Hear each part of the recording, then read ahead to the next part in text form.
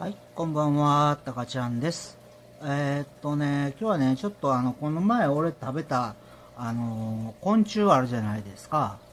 あれをちょっとこの春ガケガメに、まあ、与えようかと思って、うん、ちょっとだけ、ちょっと与えてみました。あんまりやっぱ食いつき悪かったですね。はい。まあ、よかったら見てください。はい、それでは。